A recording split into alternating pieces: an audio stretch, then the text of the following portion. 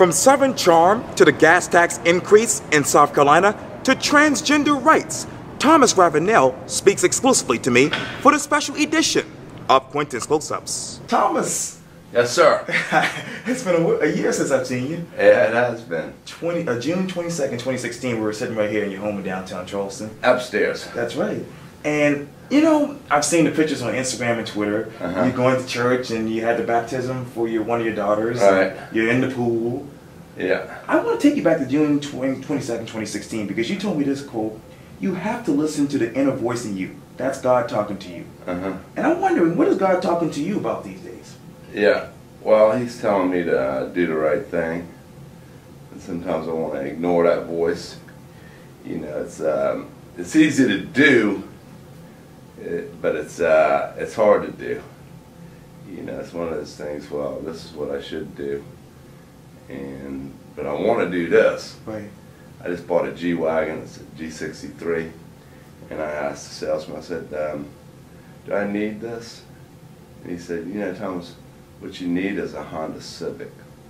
It's about what you want. You know, you want certain things, but you need certain things. Right, right. Same thing about what you you should do and what you want to do, and you just have to decide, you know, in, in the long haul, what's best. Not necessarily for me, but for my kids, yeah. and ultimately for me, and for my uh, peace of mind and my own, you know, ability to sleep at night, and and, um, and then yeah you know, I may complain or, you know, I really don't do it. But, you know, after I do it, I realize, you know, I'm glad I did that. You know, if I'd have gone and done, gone out on the boat with my friends, it would just, it would have been just another meaningless day. And whereas I find, you know, spending time with my kids is very fulfilling. So it really, it's, it's made me reevaluate my priorities and what's really important. You talk about being with your kids Mm-hmm. How would you describe Thomas Ravenel as a father? I would, um, you know, it, would be self-serving to say a, a, great father. I would hope that that um, at the end of the day, you know, um, when I'm, my children are grown, that they're you know thriving, happy adults. Then I can answer that question. But I told a girl, I met a really nice lady, and um, and I just looked at her and I just said, you know, you ought to thank your parents. She said, why? I said, because they did one hell of a job raising you. I said, what do you mean? I said, I have a daughter. I said, if my daughter turns out half as good as you do, I'm going to be very proud of myself. And it's like the best compliment she'd ever had. You know, solid, you know, really nice person, and you know, she had real strong values. And uh, and she said, you know, parents put her in sports or whatever. I said, no, they work really hard. They put a lot of time into you. Mm -hmm. I mean, a person like you just doesn't materialize out of nowhere. It's just, you know, your parents that right.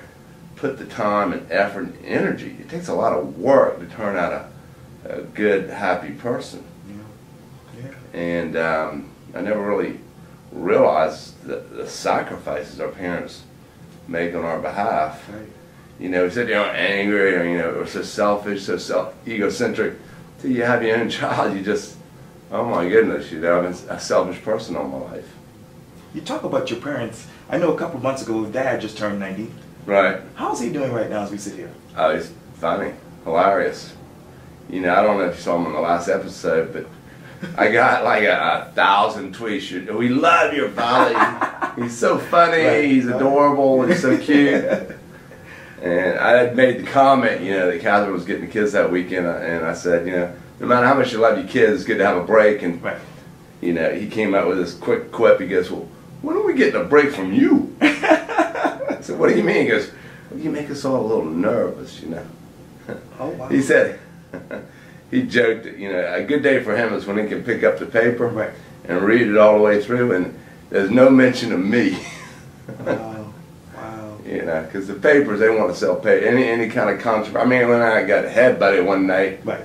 and I didn't even press charges, but you know, they, they did a mean, snarky story about me all I did, I was in a VIP section trying to raise money, and and some guy came, comes over and headbutts me.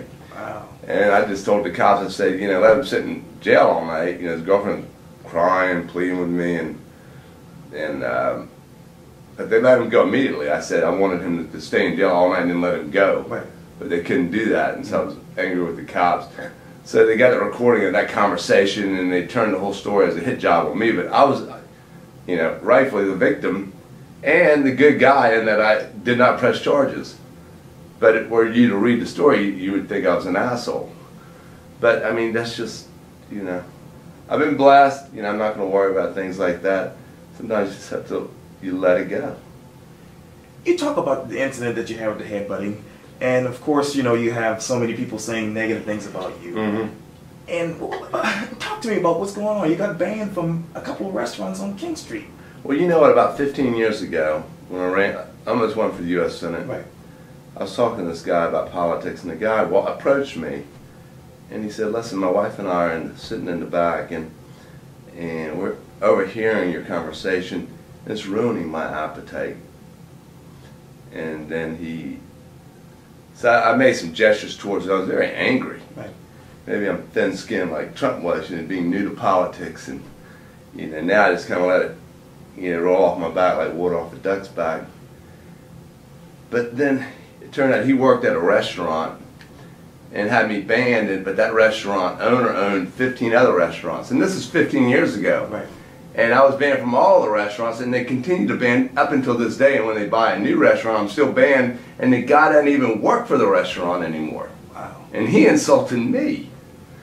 And so, I mean, that's just. But you know, I, I, I've been playing polo out in Santa Barbara. Oh, yeah. And I played in um, in Indio, it's near Palm Springs. I took my kids out there, Good. and I met this woman. And I was at Cinco de Mayo, and she wanted to, she was a fan. I talked to her, I said, what do you do? She said, I'm a nurse. I said, oh, my sister's a nurse, and you know, went back to the old story about, you know, how we, my brother was in a coma, and she was a lawyer. She inspired her to become a nurse, and she's an ICU nurse. And she said, you know, my father died when I was six, and I just remember how kind the nurses were to me, and it inspired me to be a nurse. And she was a in the life hospice nurse, and we were talking. I said, you know, let's get out of here. Let's get to somewhere. And we went to some red room with a red piano, and we just chatted. And I was telling about my life. He said, all this stuff, it's- it's all so petty. I deal with real issues. People are dying. And all my patients, you know, I try to allow them to die with dignity. And she really put perspective on the whole thing. And really awakened me to what's important. You know, some person making some snarky comment on social media. Right. Yeah, and that's why I hate social media. You know, somebody with zero information can like or dislike whatever, Right. um, and there's no boundaries whatsoever. And I find myself getting upset about why? Who cares? They, they don't know my life. And you know, I meet people, and, and I said, you know, you need to just know me, or like some girl said, well, I like you, but my parents, you know, read about you. And I said, oh, that's just now I'm like, that's just they don't know me. They don't know who I am. They just read what you know these people trying to get hits on their blog, right? right. You know, they'll they'll take a positive story and they'll turn it into something totally different. But um, you know, it's it's tough. You know, it was tough, but now I just have a different perspective. You know, I'm blessed, lucky guy. I have a beautiful home. I mean, people that know me. I mean, not to sound braggadocious, but you know, Patricia Altschul, she she wrote this book and she endorsed it over to me, and I, I didn't even look at the endorsement. Wow. But then I went out and read it. I was like, wow, that was very kind of her to say. Right. Because she knows me. Yes. And she wrote, you know, not that this is, a lot of people won't think this is good, but to Thomas, the real star of Southern Charm, love Patricia. And she has, and she wrote in here a lot of nice things about me. I was very touched, and she, she's a very nice woman. But How do you articulate that to those people who dislike you Yeah. on social media in person? How do you get Uh-huh. Patricia's message out there to those people? uh, through venues like yourself. And I, I find you you're very balanced. You know, you allow me to talk. And a lot of I did a podcast the other day, and the guy was interrupting me every two seconds. I couldn't really complete a thought. you know, they keep wanting to throw the negative narrative in my face and put me on defensive. And when you're on the defensive, if you can allow someone to put you on the defensive, they can. You're then in a position to be pushed around. Mm-hmm. Yeah, for take take the show. Uh, Shep's always um, pushing Craig around, and I told Craig, I said, you know, quit getting on the defense. It's like Trump first debate. You know, he punched at Hillary and she counterpunched, and he spent the whole debate defending and explaining. He learned, and he, I said, don't don't defend or explain, counterpunch. I said, Shep.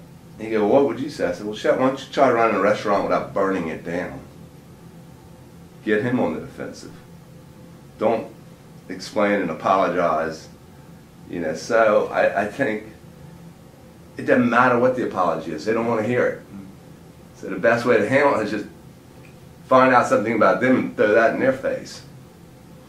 Then instead of attacking you, they're defending themselves. Mm.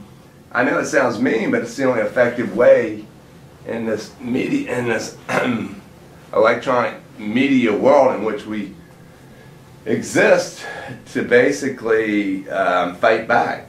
It's a matter of fighting back. But you just really can't take it personally because these people, they don't know you. You know, a lot of times it's, it's, it's envy.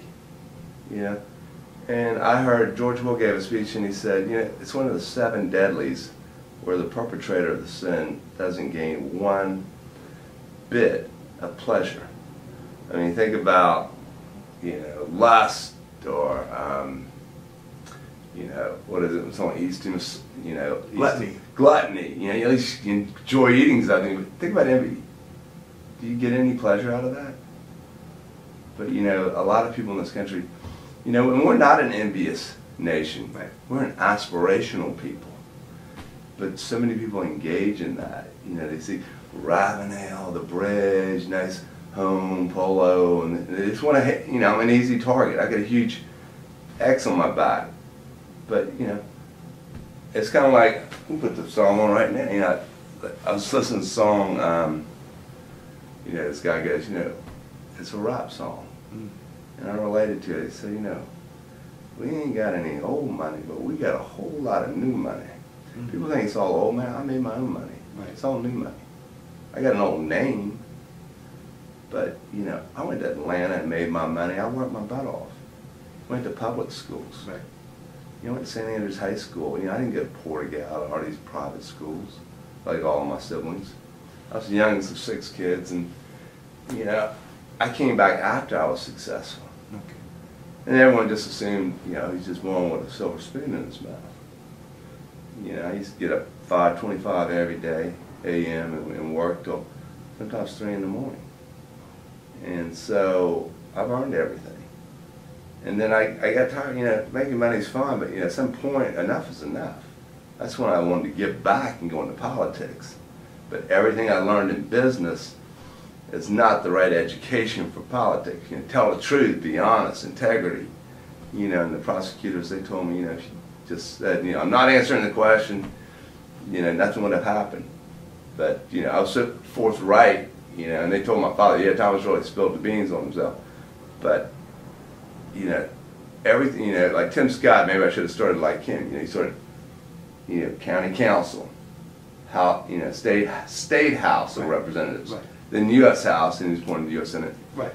But I guess Trump turned that process on its head, and he started out at U.S. for U.S. president and won. But um, you know, so I wanted to get by, you know, and and that just you know, that was bad. You know, I should have just stayed in business. You know, I'm really good at it. You know, our economy is built on divisional labor, specialization you know, we have an economy where, where you can be stupid and make a lot of money. I mean, take take is that an iPhone? Android. Android. Well, I got an iPhone, and you know, the glass made by Corningware. Right. You know, the micropro microprocessors made by Intel. Right. You know, you got all these people, and all they do is one thing. They do it well. You know, and um, I was good in business, and then I tried something else. You know, that's why you get career politicians who are good at it, and um, they don't get in trouble. You know, Hillary Clinton. You know, take the fifth, whatever. I'm not answering the question. You know, business. You know, I did repeat. I didn't do one advanced auto parts. I did 50. Why? They trusted me. I didn't do one uh, food line. I did like 18. Yeah, I kept doing all this repeat business because people trusted me. And they didn't have to question the numbers. They didn't have to question X, Y, or Z. And I tried to go into politics and be that way and honest with these people. And, and that spelt my downfall. And then once I was down, everyone started kicking me because when you're down, your name's Ravenel and you got money, people just like to kick. But, you know, I don't think I've helped myself with the show because I sort of um, accentuate that per persona just with the, you know, the big personality and uh, like some Lothario. But, you know, you know, as a businessman, I want to help right. Bravo get the ratings up. Let me talk to you about that because this uh -huh. was the headline in FITSNews.com. And this is on May 10th. Big ratings from Southern Charm. The latest episode of Bravo's TV Southern Charm drew an estimated 1.3 million viewers in this coveted 18 to 1449 demographics according to TV by the numbers. And that's an uptick from the show's fourth season premiere, which netted 1.2 million viewers in the demographic. Mm -hmm. Where did those 1.3 million people come came from? Well, they it really appeals to um, a higher socioeconomic group. I mean, take Honey Boo Boo. They may have six million viewers, but those six million viewers have a disposable income of maybe, I'm, I don't have the numbers in my okay. fingertips, but hypothetically, let's say $10 million. Well, we may attract fewer viewers, but they may have a trillion dollars in disposable income. So um, there's a lot more advertising dollars. The advertisers are willing to pay for that demographic. Right. So, you know, I've heard, you know, through sources that um, NBC Universal has right. made they've already cleared $50 million profit from the show. Of course, we're not seeing it. But reality TV for these networks is, is a big profit center because they're, they're cheap to make. You know, they may pay a contractor, you know, ours is Haymaker, right. hire and pay them, say, a half million dollars an episode. And then they'll turn that episode and make six or seven million dollars every time they show it, you know. So maybe I should do a better job of negotiating what I, what I get. But uh, I actually enjoy doing it. Yes. As a matter of fact, I was doing my research just yesterday, mm-hmm. and this particular article stuck out to me. Very, very interesting. And this is from People.com. The right. headline reads this Kathryn Dennis apologizes for custody battle with Thomas Ravenel and wants to give her ex a big hug. When mm-hmm. you hear that, what do you say? Maybe like me, she's trying to get the ratings up. I don't know. Yeah, it's been a complicated relationship with her, and, and we're on the gag order, right. you know, uh, court gag order, not to disparage right. the other person. So I'm just gonna have to. A friend of mine gave me advice. He's got a couple of sisters, and I said, "What if Kathryn says X, Y, and Z, and it's all false, and you know, but I can't engage her or even tell the truth about her when she's." He said, "You know, just handle the way I handle my sisters when they." argue with me. I said, what's that? He goes, I just smile and wait for the moment to pass. And that's what I did at the last reunion. Right. Know, she'd say X, Y, Z, and I was like, and I'd wait for the moment to pass. It's great advice. Mm. What is different between what this particular season than, the, I guess, past four seasons in your mind? It's a lot less pressurized. You know, the first couple of seasons I felt, you know, the weight of the show was on, were on my shoulders and Kathryn's because we were going through real life drama. And it's very stressful. And if you watch this season, I've had people say, you just look better. Because mm. I'm not as just, you know, I slept the night before. I wasn't dealing with so much stress. And it's actually been fun because I'm not even a main character, I'm, I've gotten a lot less screen time. You know, they'll have little snippets of me. And, you know, they've got some storylines that are very, you know, compared with what I was doing three years ago, are, are very mild in terms of, you know, uh, stressing me out. Mm. Um, you know, they're funny storylines. They're not real life, lifelong type um, issues. Let me get the politics because I saw this uh, actually on your uh, Twitter page a couple of days ago, and this is back from May 15th. You said this quote: "The Dems and MSN are coming off as complete idiots over this Comey firing." Why do you think so? Well, they they're the ones who were attacking this guy and going after Comey and saying he caused Hillary the election. Well, Trump fires the guy that was the object of their ire, and they, they're seizing on it as an opportunity to go after Trump, the man who fired him.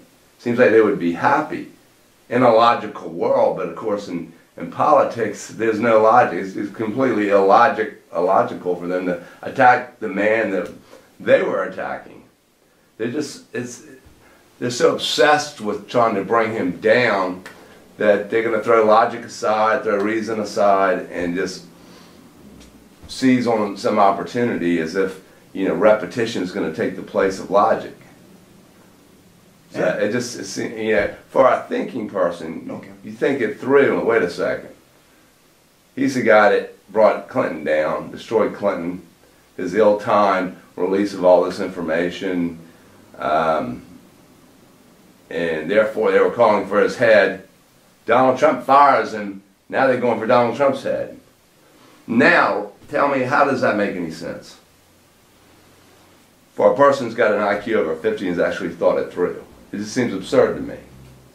Uh, let me talk to you more about that because you talk about logic. I want to go back to April 8th. You said the following on your Twitter page. You said this quote, rather than presenting evidence of Russian interference into the election, the left attempts to make re- repetition do, do the work of logic. Right. When you hear more about Russia, what sticks out to you?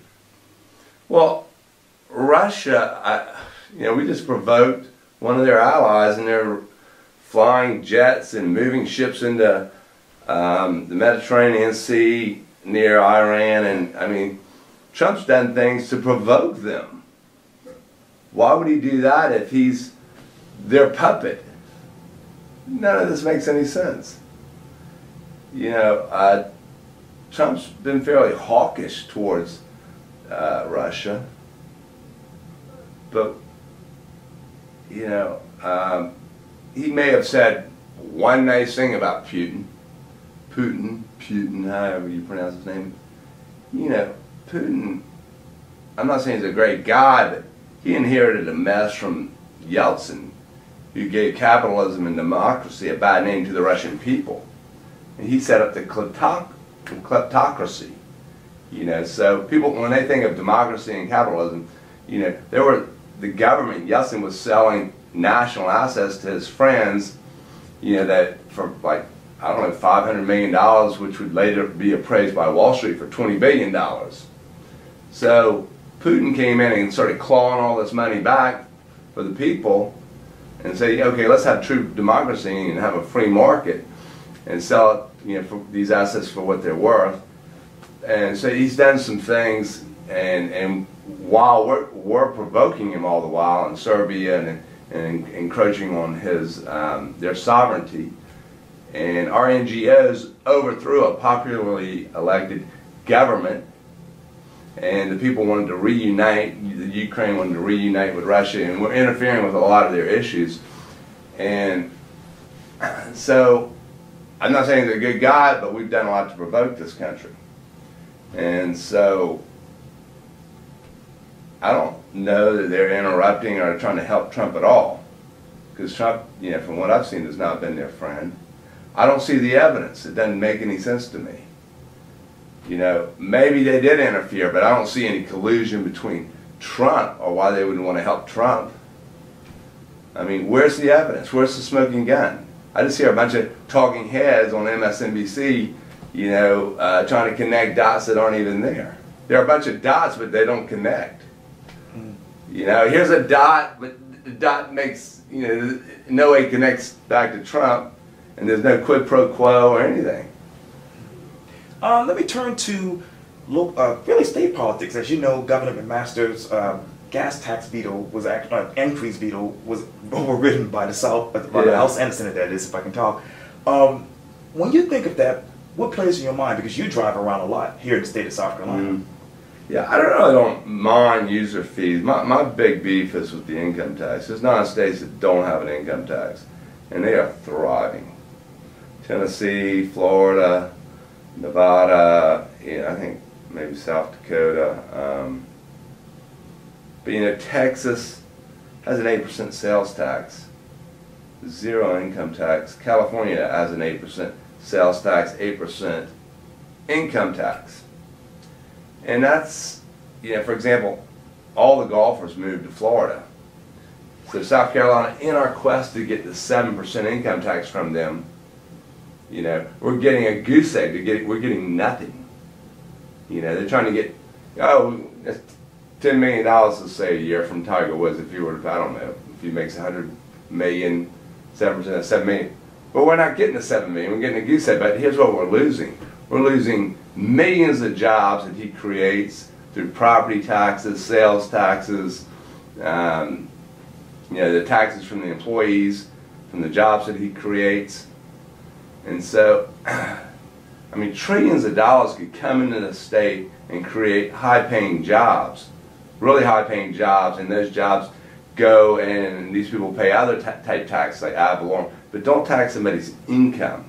Or take the capital gains tax. Germany doesn't have a capital gains, and it's a socialist country. I mean, they're cleverer than we are when it comes to tax policy. A capital gains tax is, is, is optional.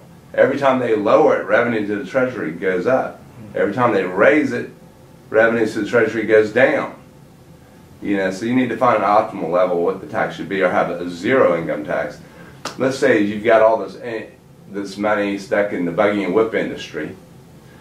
Henry Ford comes along and says, hey, I can create all these jobs with these Model Ts, but he can't get access to the capital because everyone has the money stuck in the, in the buggy and whip industry because if they were, are to sell and realize the, cap, the, the um, profit, they're going to have to give, say, half of it to the government, hypothetically. So just leave it there. Take away the capital gains, the capital is going to move around more efficiently to those who are going to better utilize it. So with the income tax, it's, it's all about incentives. You know, it gets to a point where you're paying too much, a lot of people just stop working. Mm. Um, and take a look at the lower end. You know, it incentivizes people to stay on the dole. You know, if you start making a certain amount of money, all, all your um, benefits are taken away. For example, because of my income, I don't get any child credits or exemptions or any of this stuff. But on the lower end, let's say you're getting all this government assistance, which disappears if you make a certain amount of income. And then you get hit with the taxes. So, you know, we really need to rethink how we collect revenue for the government. And I think, um, you know, a user fee, okay, that money is earmarked for the roads. If you drive, the money's going to the roads. Right. What about people like yourself? You take, don't you walk or take the bus? You know?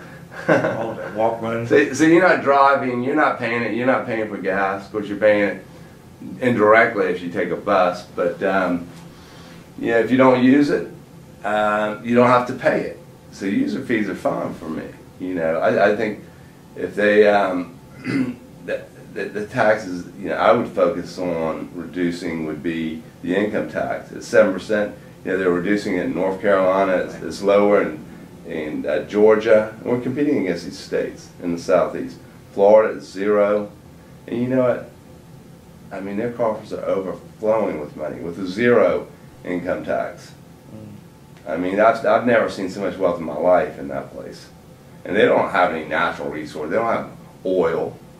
Everyone say, well, they got in Texas, they have oil and they have all these minerals. They don't have any of that in Florida. But there's a ton of money down there. And that's because the money's going there, and they're creating jobs, and the state's still collecting it, but through property taxes, sales taxes, what have you, but don't tax somebody's income. So when it comes to taxes, you know, I just have a different take on it. You know, I've done a lot of research.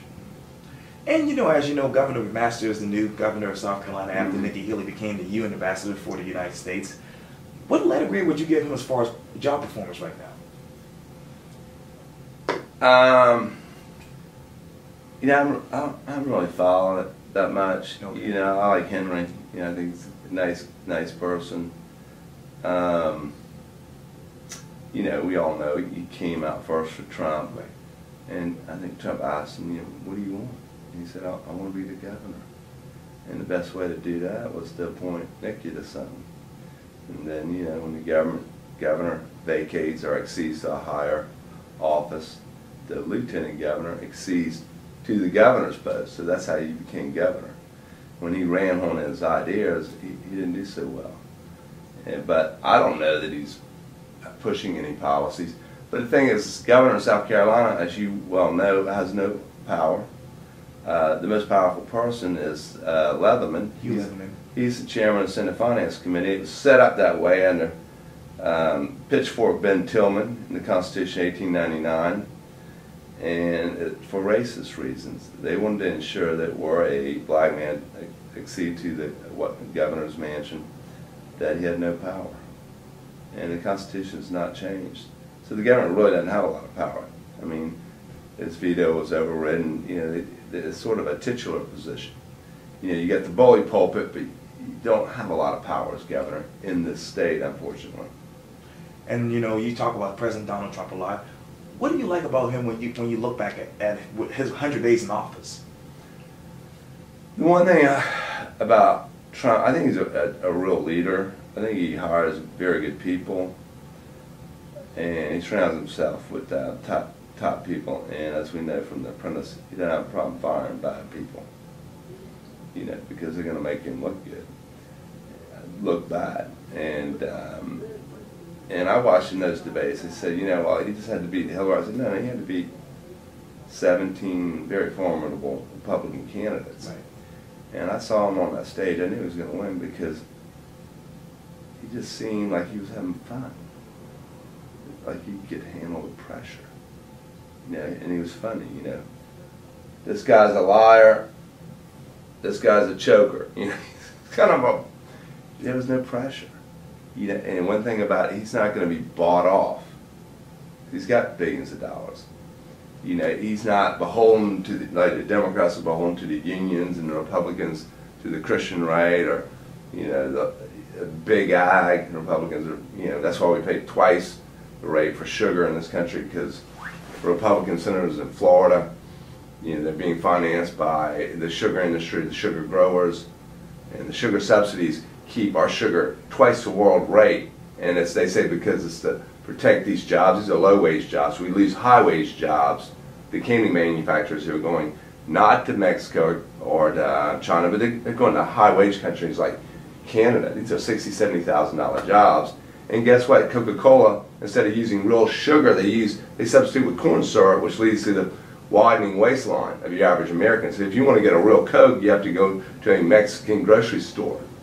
But on a standalone basis, they can do it. They get together with, say, the dairy farmers in the Northeast, Republicans and they get also get together with say um, the wheat farmers or, or, the U.S. senators in the Midwest, but they still don't have the vote, so they have to get the Democrats on board because their policies are going to raise prices at the food table by two hundred dollars. So they tell the Democratic senators, "We'll just give your constituents more food stamps to pay the extra money, you know, because the prices are going to be raised." So the average consumer slash taxpayer gets screwed again. This is called log rolling. It happens all the time. They're not going to be able to pay off Trump. You know, there are things I don't like him about him. You know, I'm absolutely for free trade, even if it's unilateral. And I think the wall's crazy. I think we need to go to this Bracero program, which worked in the 50s. You know, where you um, you certify them, you um, what's it called? A um, you document them, you permit them, and in the 50s, you know, it eliminated illegal crossings by 95%. If they found an illegal immigrant, the Border Patrol would merely drive them south of the border, document them, permit them, drop them back off at the fields where they're picking crops or whatever. We have a situation now where they have coyotes, uh, they have to pay coyotes $2,000 and they risk life and limb coming over to this country, and then they don't return. You have tent cities in California it's just like government. It, it, it, makes all these laws to solve these, you know, purporting to solve certain problems, but they're only making them worse. But you know who's against a Bracero type program, a worker visa program, which Jim DeMint ran on and I ran on in 2004? The Democrats, because the unions don't want the Mexicans, because they think they may compete against high school dropouts. And so it's the Democrats, and then on the higher end, the H-1B visas, we educate the smartest people in the world. People like Sergey Brin, he started Google, you know, Russian immigrant. And we only have, I think, the limit's at 70,000. Only 13,000 actually work. The rest are dependents or spouses. Bill Gates did a study. Each one of these guys we kick out of the country, after we educate them, the most brilliant people in the world, they could have created five jobs. That's why he started a plant just north of Seattle in Vancouver and educates these people that are benefiting the economy of Canada. It's absolutely absurd, our immigration policy. And they think a wall is going to solve it. Well, look what happened in Manchester. I mean, they have something better than a wall. It's called a moat. The moat is the Atlantic Ocean. That's better than any 12-foot wall, which is just going to create a, a, demand for 13-foot fences. You know, so I, I, think all the wall, you know, it's a, that's the one thing about Trump. He's a little shameless in his demagoguery and his populism, saying what people want to hear. And I think it won over a lot of disaffected um, blue-collar workers in these um, blue states like Wisconsin and Michigan and Pennsylvania. And when I saw the states started going red, I knew, I knew he had it. Because he was talking to these people. But a lot of these nationalist type policies, and anti-globalist, making globalism, you know, the, the straw man that you want to knock down. Because some people lose jobs, you know. Strumper, he's a very uh, famous Swedish um, economist. He talked about creative destruction. You know, for example, the ATM machine put 200,000 people out of out of work, tellers, people that, you know, I want to cash a check, right. or what, I, I need cash, you know, take money out of my account. Just go up to a machine and does it, you know. That put a lot of people out of work. Our, our PBXs, we have operators, and now, now you're calling hit one to get Thomas Ravenel, or you hit 16 to get Thomas Ravenel out. We don't have someone answering phones and you walk in and you get all these messages, you know. You just hit your thing, you get all your mess. That's called creative destruction, but it, but what happens is it saves companies money so that they can then plow that money into higher paying jobs and it creates a better uh, um, way of life for everyone. You know, you know, people want to bash capitalism. Back at the turn of the century, the government does statistics. People would spend nine hours washing clothes. And women, they'd have to walk over a mile. You have to go boil the water, you do all this, you get a washboard. Now you just, because of capitalism, you throw it in a washing machine and you know, some of these machines, you, you get an email off your, off your cell phone, your, your laundry's done. Right. You know, and people want to bash that, you just saved nine hours. It's crazy. So what's next for you? I mean, write the headline, Thomas Ravenel will do what next? Just do a good job of raising these kids. I want to sell this house. I spent two years renovating this house, but this house is a death trap. People are attacking me because I don't have my kids living in the front house. I have four stories, these stairs and all. It's not healthy for kids. It's not kid friendly. You know, I thought I was protecting them. You know, it's a compound that's surrounded by you know a ten foot wall. Right. But I want to be in a kid friendly neighborhood. You know, and we're in Harleston Village, very right. low. I think we're below sea level. Right. But you know, so if you want to put in a pool, the way they get around it is they they apply for fountains, and I've got several fountains out there, but the thing is, I want to be in a, friend, a kid-friendly neighborhood. You know, have a sandbox, a swing set, yeah. maybe a club pool. I was thinking about not getting an aisle, but maybe the neighborhood next door to it. And there's interconnectivity where you can just drive in, and or even my own pool. But you know, it's nice to go to a club pool where there are other kids, even if they don't play directly with other kids. They they I do what's called parallel play. So. Um, you know, that's what I want to do. I want to get my kids in an area where, you know, they're not looking to me to interact all the time, but they're outside in the yard, you know, fenced in safe yard in a safe neighborhood, and they're playing in the sandbox, swinging, and, you know, uh, when we were, I rented a place out in California, had a nice pool. We, we had a woman would come over and teach the kids how to swim. So, I mean, that's my main focus is, you know, paying my taxes. Got to pay your tax. I don't want to go back to prison, you know. But and um, you know, just being a good citizen. You know, making people laugh on the show, and um, Yeah, and I'll write op-eds. You know, I'm a big promoter of equal rights, civil rights. You know, whether it's for tra- transgenders or, you know, I think the drug war, you know, unfairly um, harms people of color. You know, they go after the voiceless. You know, because they they go to the college campuses. You know, kids, you know, white kids, affluent kids, they're doing drugs far more than people in the inner city. But they don't go after those people because they know they have contacts with senators and congressmen and judges. They do that, the police department knows they're going to start getting their budget cut. So they go after the voiceless. Some kid, and they say they want to protect, you know, um, the kids. Well, three national surveys said kids have far easier access to the illegal drugs because the kid selling drugs at the street corner, he ain't checking IDs. Not only that, you get rid of the drug war, he's not going to be on the street. He's going to be in school getting a diploma and getting a real job.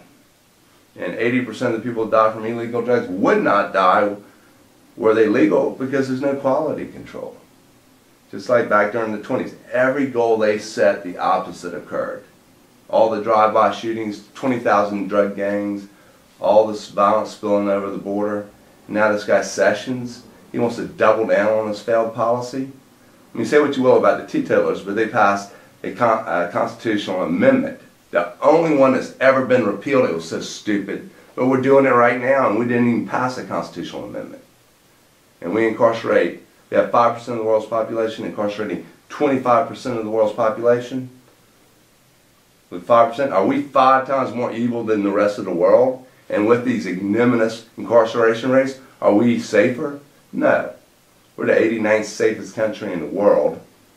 Canada and other countries, um, Canada's like the seventh. I think Japan is eighth. I'm not, don't have the numbers at my fingertips. It's a completely failed system. But it's just good politics. You know, nobody wants to talk about it. Mm. And you know what? It affects people of color. I mean, why would this guy, William Henry Gates, he's a Harvard professor, he's accessing his own home. Why would he say why? Because I'm a black man in America? You get rid of the drug war and you know, a story like that's going to be antique. You know, it's, should they, you know, you ask an African American, racism still exists, even though we had a, an African American president. You can start ticking off the seconds for say, yeah, I mean, why? The drug war. Then, you know, the way they unfairly prosecute this drug war. It's like um, Richard Pryor said, you know, the comedian said, where's the justice? All I see is just us. So, you know, I'm a big promoter on that. You know, with respect to the transgender situation. You know, these hostile voices on the right, Christian right, they have a problem, why don't they talk to God, these people's creator? Take it out with them. They want to attack these, these human beings for how God made them. So these are just some of these issues that I'm passionate about. You know, I write about it and I put it out there. And um, that being a good father, I want to find, you know, um, a good partner. You know, I've always treated my personal life separate from my business life. I've been successful in business. Right. I saw a therapist and she said, Thomas, treat your personal life like, like your business. You're looking for a partner in the business of life. And my father even said you know, because I broke up with this really nice girl, and, and I said, well, the romance is, you know, kind of done. He said, he looked at me like I was an idiot. He said all that heavy breathing, all that. It just goes away. You want somebody, you know, that shares your values, who's committed, who's not selfish. When you have kids, you can't be selfish. You know, like I was talking to this nurse, you know, she's, she's a giver. I mean, she's dealing in the life situations, very selfless. You know, just you, you know, get somebody who wants the same things you want, and you go down. You know, you don't want someone going in that direction. You're going this way. You're running for U.S. Senate. You're trying to do all these policies, and they want to go party till the next day, all day long, doing things that you shouldn't be doing. But you know, where to send the kids to school, where you want to live I mean, these are all business type decisions. Selling this house is business. I got someone coming at 2 o'clock to look right. at it. you know, I need to treat it more like, you know, it's like hiring somebody. You know, um, people say, you know, how do you hire someone? You know, do you go over the resume? No. They wouldn't be sitting in my office if their resume wasn't good. You know, didn't check out. They got all the skills qualifications, and they're sitting opposite my desk. You know what we talk about? Everything and nothing at all. You know, how fast can the G-Wagon go from zero to 50? You know, I want to see if I can get along with this person because I'm going to be spending a ton of time. I hired this one woman. She was a project manager at Harvard. She went to Harvard. It's brilliant. I could not work with this person. Wow. You know, it, it was horrible. And I had to get rid of this person. Well, she actually quit because she saw the writing on the wall. But um, you want to, you know, I want to work with people I can get along with. You know, so getting along with somebody, that's business. How are you going to do business if you're with someone you can't get along with, right? So, you know, I've started to look at it that way. And I, yeah, it's one good, solid people. You know, I, I talked to a friend of mine, and he said, "Look, there's two kind of women." It's like, he said, "My wife, I'll go out of town for five days. I only have to think about it. She locks up that door. Know, you don't have to worry about coming home and you know hear the hear a bed going. Eh, eh, you know, she ain't, she ain't messing with the pool boy. Okay." He, he said, "There's no in between." And yeah, he's a smart, smart guy he likes to have fun and all that, but when it came down, he said, and he said it on the show, you know, you got to be very choosy, mm. Very cheap. That's your, that's your life's partner. Mm. And yeah, I, I just kind of took it off of Grant. I kind of bought in this Hollywood thing, and it's just, you know, I'm not blaming my problems on, on you know, relationships, but um, I think Kathryn said it in the last show, you know, I didn't feel worthy, you know, I had a Down syndrome brother and he got all this love. And I didn't really think I was worthy of a really good woman. And I, I think I, I, sold myself short in a lot of situations. And, um, you know, my goal is I, I want to share my life with somebody, mm-hmm. you know, and I want it to be someone solid. Or I, I don't want to be, Andre Bauer always said, you know, I'd rather be alone than wish I were alone. I don't want to be in this horrible situation where you know, you're paying lawyers all this money every month, you know, and it's just ridiculous. That's bad business. Well, uh, Thomas Ravenel, thank you so much for this interview. I really appreciate this. Yeah. Took some twists and turns we weren't expecting. well, it's an interview. thank you. All right, appreciate it. I appreciate it. Okay.